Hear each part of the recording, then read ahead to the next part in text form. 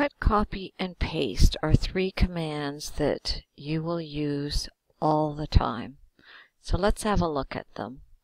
The cut command is a move to the clipboard. And think of the clipboard as just some temporary spot in the memory of the computer. So let's say that we are going to move the word move. The first thing is that we need to select it. So it's now selected. I can cut it with various options. I can, can cut it by using a right click with my mouse and doing cut. And you can see that it's disappeared, but it is being held in a temporary memory spot in the computer. I'm going to undo that and I'm going to show you that I could I can cut text out of this sentence and move it to this sentence by dragging the selected text and you can see it is cut out of here it's been pasted over here. So when you use the drag method it is doing a cut and a paste simultaneously. There's also the method called the keyboard shortcut method, and that is by using the Control X keys on your keyboard. So you do have to select the text just the same. You press and hold Control X on your keyboard, and the word move is now sitting on the clipboard. I'll undo that with my Control Z. It comes back. I'll leave it selected and I'll use the last option, which is to use the cut icon on the ribbon. Okay, so I will select this and I will come up to the Home tab and cut it out. And now it is sitting on the clipboard. And what it's doing is it's sitting there waiting for me to paste it. So if I unexpectedly get distracted and I forget to paste it, uh, it's possible that I may lose it if this document gets closed. Uh, otherwise, it is waiting for me to paste. And I'll, I'll just click paste here and you can see the word has been pasted at the landing spot, wherever your cursor was sitting. So I'm going to undo that here and talk about copy. So it's similar to cut. The when we copy something, it it goes and sits in that temporary memory called the the clipboard. So this time I'll copy. Actually, I didn't get my move back there. I'll select this word. I'll show you that I can right click and then I click with my left mouse the copy button and it is now sitting on the clip clipboard. I'll come just to the end of the sentence and put a space in and then I will paste it. You can see I now have this word copy copied here. I'll undo that with my control Z on my keyboard and I'll double click this word to select it and I will use a control drag. So when I press and hold the control key on the keyboard and I keep it held down, I click and hold the left mouse button and I keep it held down and I'm going to pull it, drag it over to the end of the sentence and you may notice the little plus sign that's telling you it's going to be a copy. Now what do I release first? I, it's not random. I must release the leftmost button first and then the control key. If I let go of the control key, then the copy uh, function is going to disappear.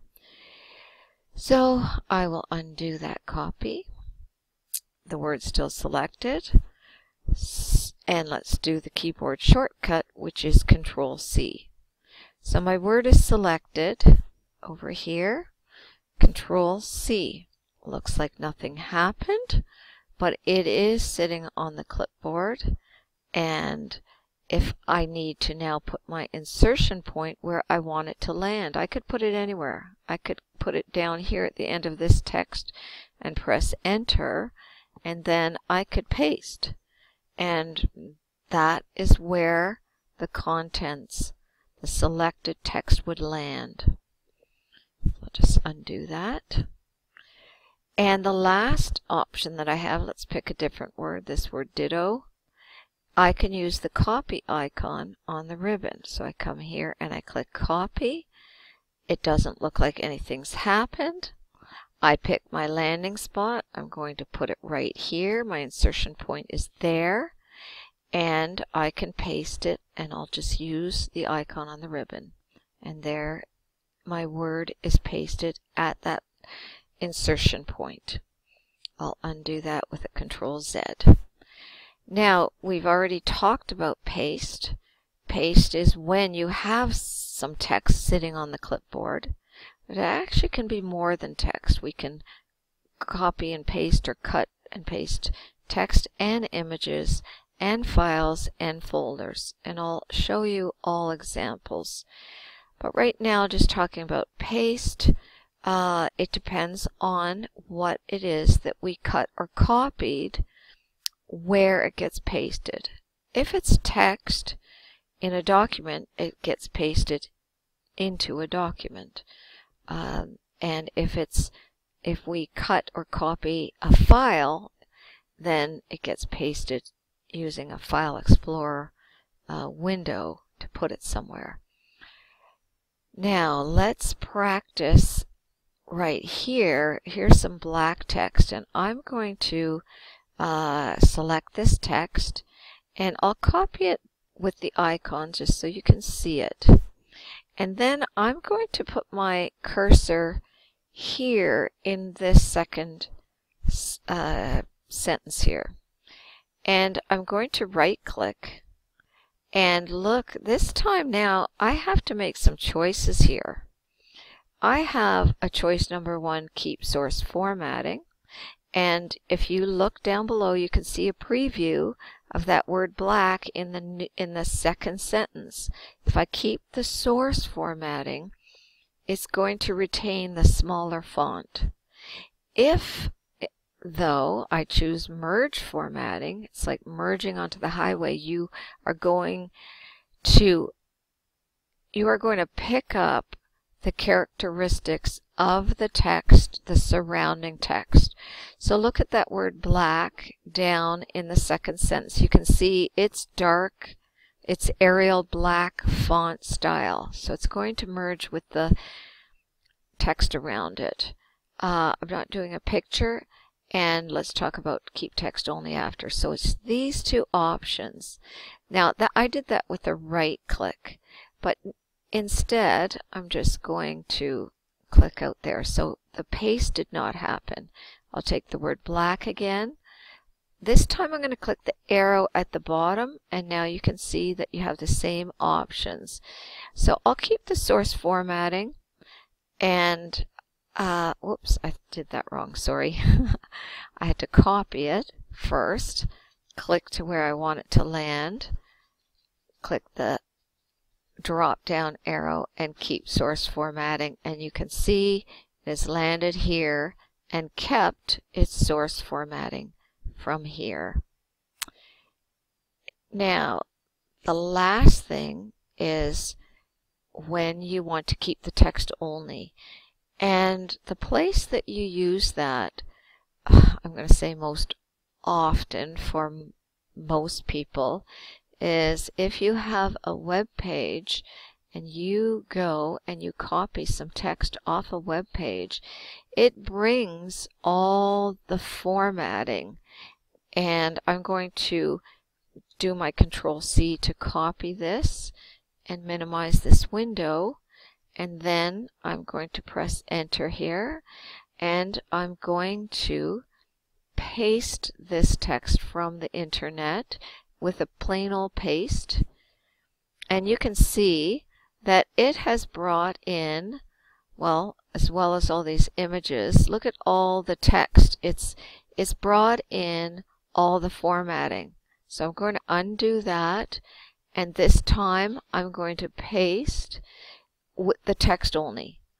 And so you can see that you don't bring in the um, images. You've brought in the text. It doesn't have all the formatting. It's still not perfect. And if we wanted it to sort of behave a little bit better and get it more like our original, we could change it to Calibri. But a fast way to do that is just to click the normal. And uh, we will get a lot of the text looking like the rest of our document. So that's the difference between cut, copy, and paste. And before I run out of time, I just want to quickly show you that I can also cut and copy paste files. So I'm going to make a new file inside junk called uh, more, more junk.